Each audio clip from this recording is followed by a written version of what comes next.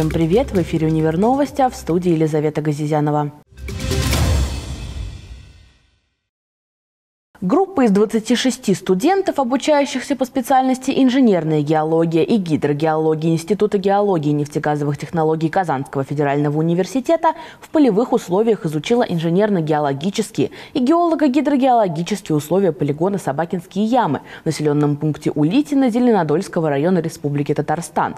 В этом году специализированная практика по инженерной геологии проходила под лозунгом «В инженерную геологию приходит поколение Z». Все полевые работы проводились при поддержке облачного приложения Soilbox и под руководством доцентов кафедры общей геологии и гидрогеологии Айрата Латыпова и Анастасии Гараевой. В своей работе студенты использовали модуль описания инженерно-геологических скважин, позволяющий проводить заполнение буровых журналов, выполнять описание грунтов, делать фото образцов и кернового материала полностью с использованием мобильного устройства. Подобный формат максимально современен при проведении реальных инженерно-геологических изысканий, так как позволяет камеральной группе группе мгновенно получать результаты полевых работ, независимо от удаленности полевой группы. Новинкой этого года стала работа в модуле точки наблюдения, который помогает значительно упростить описание опасных инженерно-геологических процессов. Благодаря удобному и интуитивно понятному интерфейсу студенты с первого дня практики научились выполнять описание карстово-суффузионных проявлений, овражной эрозии, оползни в мобильном приложении. В итоге все карстовые воронки полигона были оцифрованы обучающимися и нанесены на единую карту. Кроме того, каждый вечер практики проходил коллективный просмотр результатов работы и обмен впечатлениями. Помимо образовательного процесса в лагере кипела и полевая жизнь. Жаркая погода и близость Волги обеспечили ежедневные водные процедуры, а природа и умелый талант дежурных по приготовлению вкусной еды – хороший аппетит. 24 июля в Казанском федеральном университете состоялось практическое занятие с микроскопом «Капля жизни», в котором приняли участие активные жители Казани. О том, как это было, расскажет наш корреспондент. Уже не первый раз в стенах Казанского федерального университета проводятся лекции и практические занятия городской лаборатории «Горожанин-ученый». Проект стратегии развития Казанки привлекает казанцев с активной гражданской позицией к изучению водной фауны и сохранению окружающей среды. В этот раз участники проекта посетили кафедру природообустройства и водопользования Института управления экономики и финансов. «Горожанин-ученый», он у нас длится целый месяц, экопроект, где а, эксперты рассказывают рассказывают жителям а, свои какие-то уникальные истории, делятся. Вот. И это седьмое занятие по счету, как раз-таки практическое занятие с микроскопом. Оно и в прошлом году было супер популярным а, среди жителей. И в этом году также не хотели его как-то отпускать от сердца, потому что с микроскопом, мне кажется, это вообще а, основа основ специалисты, потому что они здесь своего рода каждый уникальные и глубоко раскрывают каждую тему. Вот, и э, несмотря на то, что есть э, э, мероприятия, где это все вживую рассматривается, осматривается, а вот такие моменты изучающие, они, ну, они важны. И КФУ это как один из университетов таких важных и главных в Казани, оно никак не останется без внимания. Изучать водную фауну и ее обитателей в теории – это, конечно, интересно. Но если совместить это дело с практикой, то эффект будет в разы больше. Так, во время работы с микроскопом участники проекта познакомились с обитателями городских озер, научились определять видовую принадлежность на примере водных растений и многое другое. Как отмечают казанцы, такого рода практические занятия – это всегда очень увлекательно. Было очень здорово, было новое занятие в рамках этого проекта. То есть в прошлом году мы смотрели на все это под микроскопом и смотрели смотрели, э, как происходит э, инновации в парках, как работают с озерами. В этом году у нас э, совсем немножко другая тема. Мы смотрим, что происходит с растениями под микроскопом. То есть кажется, что это ровная поверхность, а по факту там очень много микроорганизмов, поэтому нас предупредили, чтобы мы ничего не ели, не пили. В общем, поэтому мы здесь очень аккуратно смотрим, наблюдаем. Проект реализуется уже третий год и стал финалистом первой Всероссийской парковой премии в номинации «Экологическая акция». В этом году мероприятие мероприятие проходит под слоганом «Казанка выходит из берегов», что говорит о расширении географии проекта и о важности сохранения и взаимосвязи всех водных объектов. Также 2024 год представлен разнообразием изучаемых водоемов. Занятия проходят не только на берегах Казанки, но и на реках Ноксе, Волги и даже Свияги. Аделина Абдрахманова, Карина Саяхова, Тимур Ахметов. Универновости. В завершающий день приемной кампании 2024 года поговорим об Институте вычислительной математики и информационных технологий Казанского федерального университета. Сколько бюджетных мест, какие есть направления подготовки, чем можно заняться в свободное от учебы время.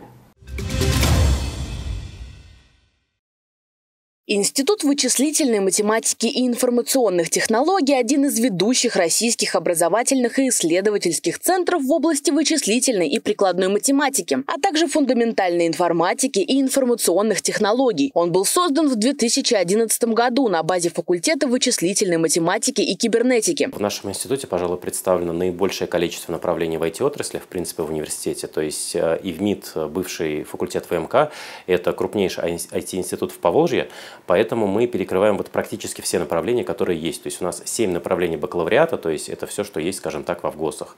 То есть какие направления у нас есть?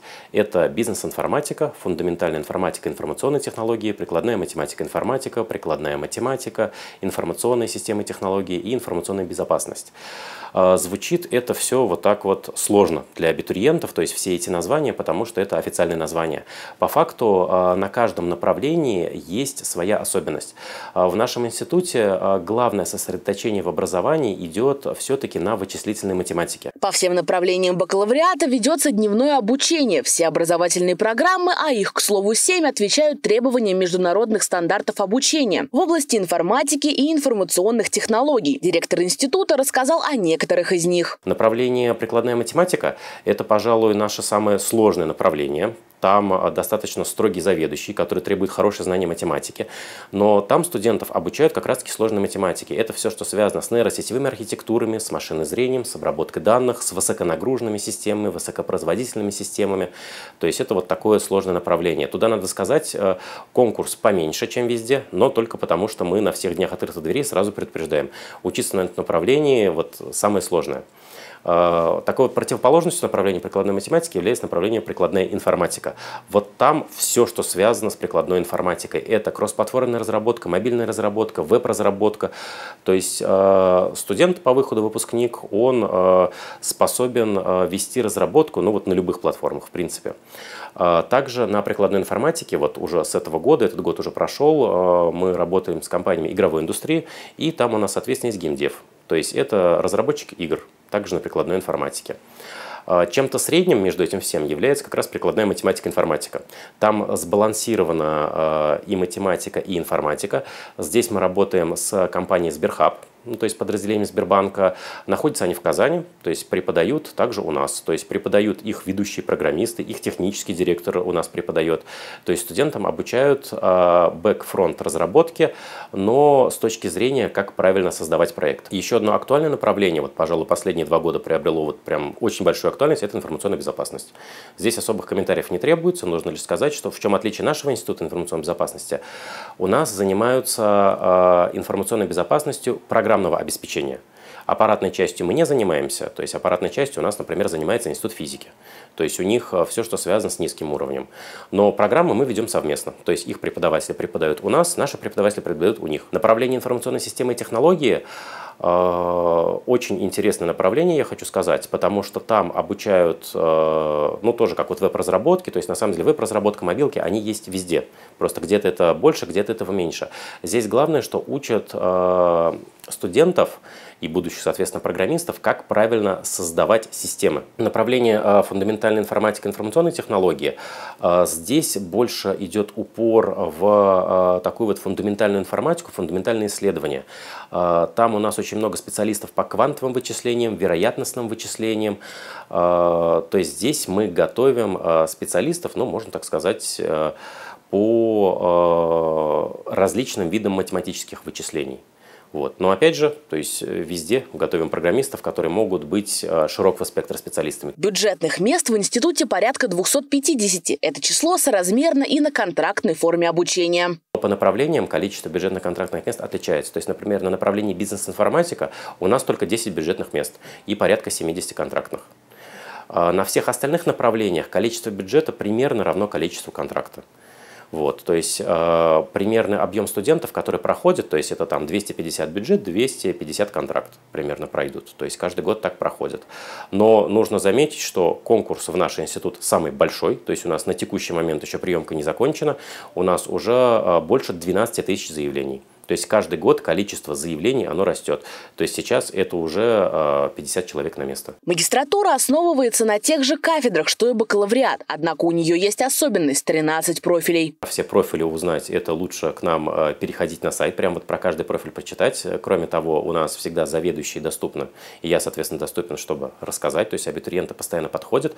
То есть все те направления, которые я на бакалавриате перечислил, то есть направления ровно те же самые. Но на каждом направлении есть профили.